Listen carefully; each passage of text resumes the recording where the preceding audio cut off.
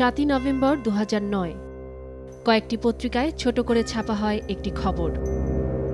সাদামাটাভাবে প্রকাশিত ওই খবর অনুযায়ী মাদকাসক্ত ওই যুবকের মৃত্যু ছিল নেহায়েত দুর্ঘটনা। তবে ক্লিনিক কর্তৃপক্ষের সন্দেহজনক আচরণের কারণে ১৩ দিন পর লাশ তুলে ময়নাতদন্ত করা হলে বেরিয়ে আসে নতুন তথ্য। মাদক পাওয়া যায় মৃতের ভিসেরাতে। আমি তখন ওকে ধরেছি ধরে দেখি ওর পেট বেশ ফোলা এতখানি ফোলা। তখনই আমি ওই সময়টাই আমি চিৎকার করে বলছি ওর পেট কেন ফোলা? ভিসেরাতে কীভাবে অ্যালকোহল এলো এই প্রশ্নে ক্লিনিকটির প্রভাবশালী একজন পরামর্শকদাতা দেন সাধারণ এক যুক্তি। আত্মপক্ষ সমর্থন করে তিনি মিডিয়াকে বলেন রোগী মাদকাসক্ত ছিলেন সে কারণে তার পাকস্থলিতে মাদক পাওয়া যেতে পারে। কিন্তু তেইশ দিন সেখানে ভর্তি থাকা এবং মারা যাবার আরও ১৩ দিন পর তোলা লাশে কি করে অ্যালকোহল পাওয়া যায় তা বড় এক প্রশ্ন। অ্যালকোহল কনজামশনের পরে হ্যাঁ সাধারণত বাহাত্তর ঘণ্টার ভিতরে হ্যাঁ মারা গেলে সেই বিশ্রায় আমরা পোস্টমর্টম যেতে পাইতে পারি, অ্যালকোহল পেতে পারি। কিন্তু তারপরেও যদি, তার সাথে যদি আমি আরও চব্বিশ ঘণ্টা যোগ করি নাইনটি সিক্স আওয়ার্স এটাও যদি ধরি, চার দিনও যদি ধরি আমি হ্যাঁ এর বেশি কখনোই ইয়েতে বিশ্রয় আর পাওয়া যাবে না। মাতৃগণের মধ্যে গেছে আই শিওর নামকরা এই ক্লিনিকটির চিকিৎসা ব্যবস্থা নিয়েও রয়েছে বিতর্ক। বিতর্ক রয়েছে দায়িত্বপ্রাপ্তদের নিয়ে।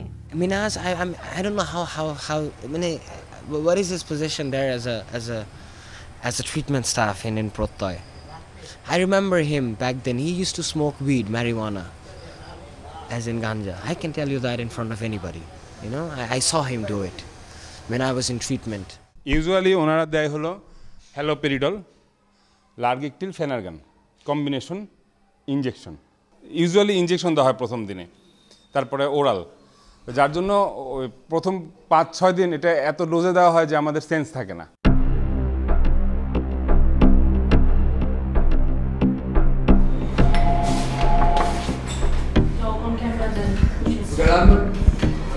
এত বড় ঘটনার পরও একরকম নির্বিকার ক্লিনিক কর্তৃপক্ষ.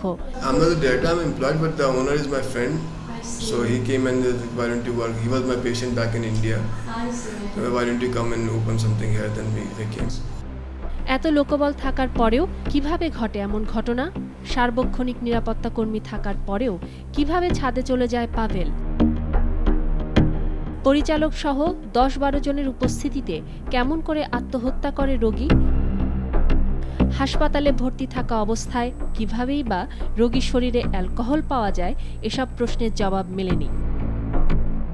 যে মিনহাজ হলো ওখানে ডিরেক্টর সে আহ, একসময় এডিক্টেড ছিল। একটা এডিক্টেড ছেলে সে কি করে ছাদে যায়? আবার কি করে সে আপনার এখনও ডিরেক্টর পদে বহাল থাকে? আমি ছেলের বিচার চাচ্ছি দেশবাসীর কাছে। ইনফ্লুয়েন্স না থাকলে মানি না থাকলে এই দেশে বিচার পাওয়া খুবই কঠিন। আমার মতো সন্তান হারা যেন কেউ আর না হয়, এইটুকু তাই প্রশ্ন উঠে আরেকটি, মাদকাসক্তি নিরাময় ক্লিনিকগুলোতে আসলে কি হচ্ছে? ইবতিসাম নাসিম মৌ, মাছরাঙা সংবাদ, ঢাকা।